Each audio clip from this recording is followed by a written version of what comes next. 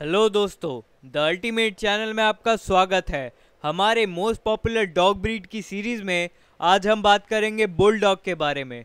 तो bull dog के बारे में जानने के लिए सब्सक्राइब करें हमारे चैनल को।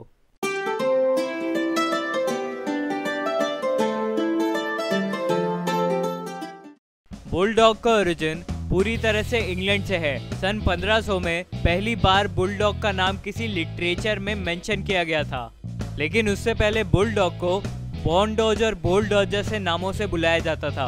और इनके नाम के आगे बुल इसलिए लगता है क्योंकि इन्हें बुल बेटिंग जैसे स्पोर्ट में यूज़ किया जाता था। 18 सेंचुरी तक आते आते बुल बेटिंग जैसे स्पोर्ट्स को खेल के बुलडॉग बहुत ही स्टॉकी हो गए और उनका जॉ मसल बहुत ही स्ट्रॉन्ग हो गया। बुलडॉग मीडियम साइज़ की डॉग ब्रीड होती है और ये बहुत ही मस्कुलर होती है। ये छोटे बच्चों के साथ भी आसानी से रह सकते हैं और उनके साथ ये बहुत ही जेंटल और केयरिंग होते हैं। वैसे तो ये डॉग सबके साथ बहुत ही सोशल और फ्रेंडली होते हैं, लेकिन किसी स्ट्रेंजर या दूसरे बड़े डॉग से खतरा महसूस होने पर ये उन पे बेझिझक हमला कर सकते हैं। बुलडॉग बहुत ही करेजस होते हैं और अपने से बड़े साइज़ के डॉग से भी वो नहीं डरते। कभी कभार अडल्ट बुलडॉग बहुत ही लेजी हो जाते हैं और इसी वजह से उन्हें बाहर जाके घूमना और एक्सरसाइज करना बिल्कुल पसंद नहीं आता।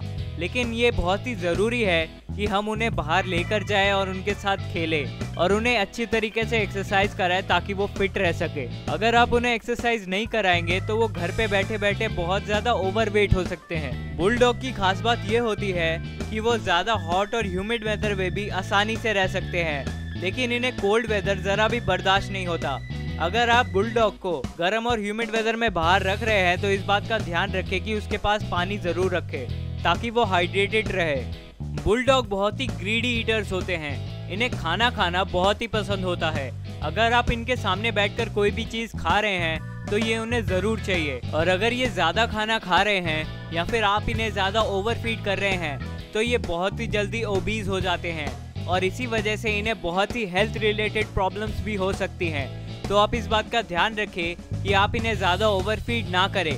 बुलडॉग फैमिली डॉग्स होते हैं और इन्हें फैमिली के साथ घर के अंदर रहना बहुत पसंद होता है। लेकिन कुछ बुलडॉग्स को घर से बाहर जाके घूमना और एक्सरसाइज करना बिल्कुल पसंद नहीं होता इसलिए आप अपने बुलडॉग को रोज बाहर कम से कम आधा घंटा वॉक ज़रूर कराएँ। बुलडॉग्स वैसे तो एग्रेसिव नहीं होते, लेकिन इन्हें बचपन से ही अगर छोटे बच्चों और दूसरे डॉग्स के साथ सोशलाइज किया जाए तो ज़्यादा अच्छा होता है बुलडॉग की एवरेज हाइट 31 सेंटीमीटर से लेके 40 सेंटीमीटर तक होती है और इनका एवरेज वेट 23 से लेके 30 केजीज तक हो सकता है। बुलडॉग के बाल शेडिंग सीज़न के दौरान झड़ते हैं और इन्हें रेगुलर ग्रूमिंग की ज़रूरत नहीं होती क्योंकि इनका शॉर्ट कोट होता है।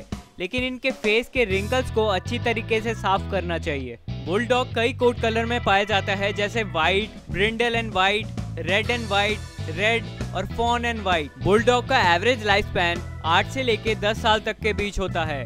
तो दोस्तों, ये था आज का हमारा एपिसोड बुलडॉग के बारे में। और पॉपुलर डॉग ब्रीड्स के बारे में जानने के लिए सब्सक्राइब करें हमारे चैनल को, लाइक करें, शेयर करें और कमेंट करें इस वीडियो पे। Thank you.